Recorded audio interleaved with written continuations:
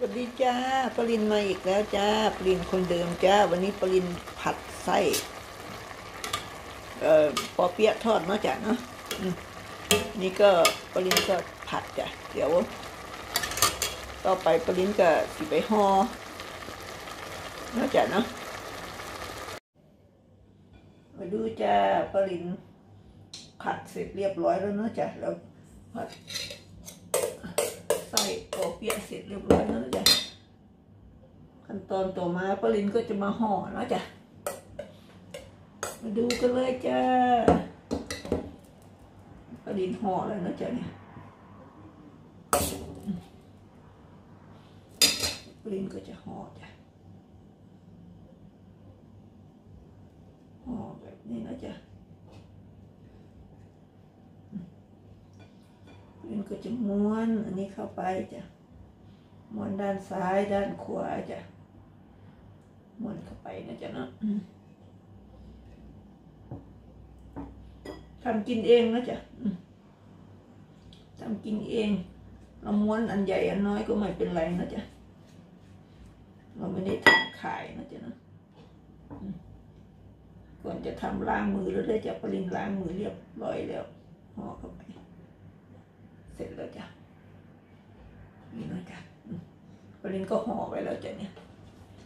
ต่อไปอีกเดี๋ยวปรินจะห่อให้ดูจ้ะใส่จ๊ะวางไว้ อันนี้เป็นสี่เนะจ๊ะด้าน เป็นสี่เหลี่ยม หันด้านเหลี่ยมนี้เข้าหาตัวเองจ้ะ แล้วก็ห่อจ้ะ แล้วก็พันทางนี้จ้ะห่ออย่างนี้นะจ๊ะนะ แล้วก็พัน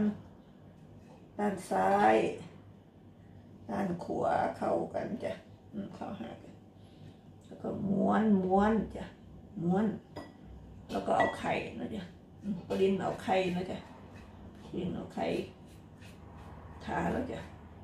ทาแล้วก็ม้วนจ้ะม้วนม้วนเข้าไปนะจ๊ะออกมาเป็นอย่างนี้นะจ๊ะเนาะเนี่ย นี่เสร็จเรียบร้อยแล้วนะจ๊ะปอเปียะทอดปลาลินก็เป็น เสร็จแล้วจ้ะปอเปียะใส่หมูจ้ะ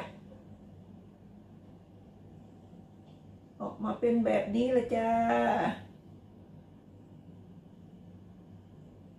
คลิปนี้ปรินก็มีแค่นี้แหละเนาะจ้ะเนาะเดี๋ยวคลิปหน้า มาดูกันว่าปรินจะทำอะไรอีกเนาะจ๊ะเนาะคลิปนี้ก็กดไลค์กดแชร์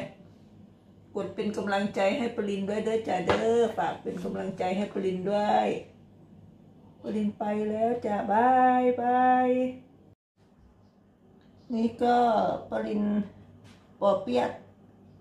ไส้หมูจ้ะเนาะจ้ะปรินห่อเสร็จแล้วจ้ะ แล้วก็ปรินก็เอามาทอด ทอดเสร็จแล้วหน้าตาก็เป็นแบบนี้เลยจ้ะ น่าทานไหมคะ